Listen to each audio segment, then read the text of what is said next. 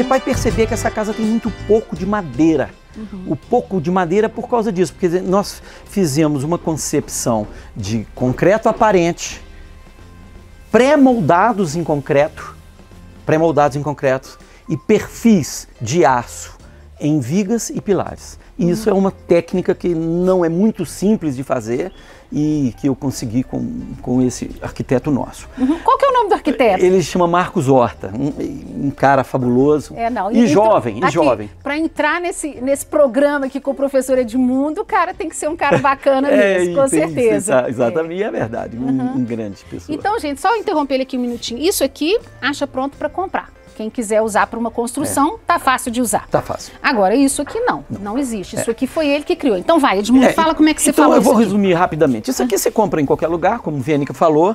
Agora, isso aqui, você tem que calandrar uma peça, colocar lá dentro, encaixar as duas, moldar uma na outra, fazer um, um, um bloco, colocar um vidro e fazer esse espelho, que a gente chama de espelho de, de, de, de, de relógio, que também é calandrado que isso aqui é um, é um é perfil chamado T.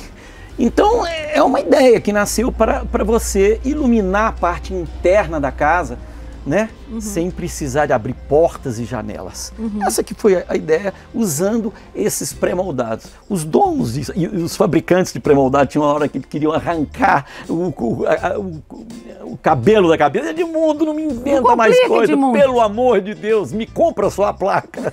e eu falava, não, eu quero isso e tal. Então vocês vão ver aqui na frente só tem a porta e esses detalhes. É. E a casa está toda voltada pro, pro, pro fundo, pro fundo, que é privilegiado com as é, plantas. Exa exatamente. Então vou te convidar a entrar.